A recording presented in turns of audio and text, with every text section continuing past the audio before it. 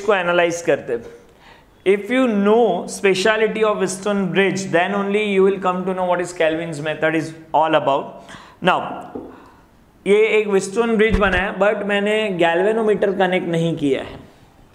और ये switch on किया करंट फ्लो होना स्टार्ट हो गया। तो लेट्स से आई करंट जो आगे जाके डिवाइड होने वाला है I one and I two will take some example समझो आई वन है two ampere and I two है थ्री एम्पियर तो ये बना फाइव एम्पियर अब if I connect galvanometer in between this two and still here there is 2 ampere, that means bridge is balance.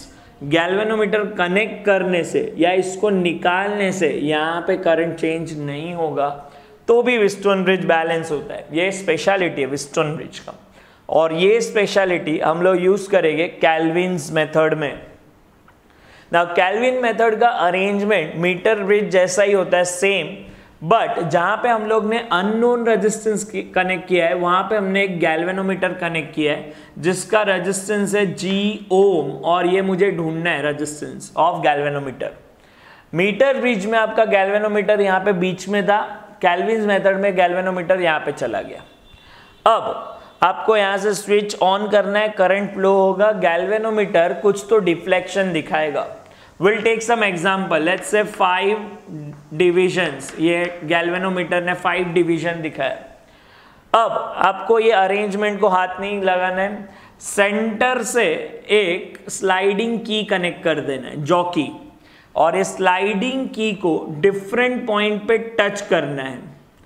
एक point ऐसा होगा जहाँ पे ये गैल्वेनोमीटर वापस फाइव डिविजन्स दिखा रहा है। दैट मीन्स जो पहले करंट था और बाद में करंट टच करने के पहले और टच करने के बाद सेम करंट फ्लो हो रहा है। और यहाँ पे मैंने यही बात की,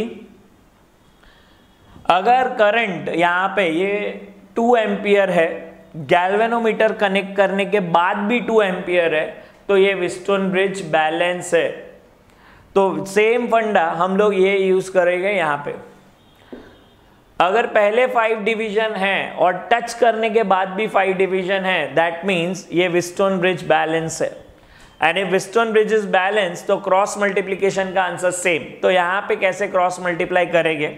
वापस से ये लेंथ को मैंने नाम दे दिया एल एक्स और remaining length is hundred minus L X और क्रॉस मल्टीप्लाई करना है G into hundred minus L X is equal to R into L X तो इसमें से अननोन है जी तो हम लोग गैल्वेनोमीटर का रेजिस्टेंस मिल जाएगा।